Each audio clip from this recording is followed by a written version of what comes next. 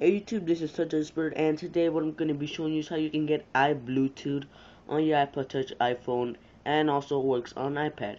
What this application lets you do is enable the tr file transfer via Bluetooth on your iPhone, iPod Touch, and iPod.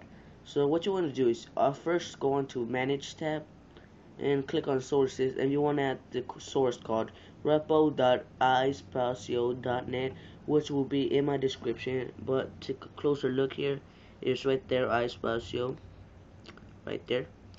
Now all you have to do is once you add the source all you have to do is go on to search tab type in iBluetooth and install the first one that you see there.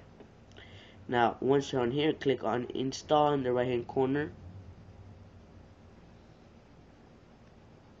and then click confirm.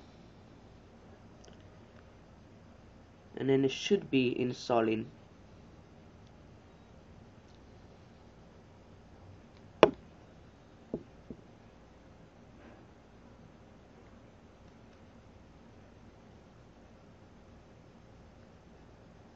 now click return to Cydia.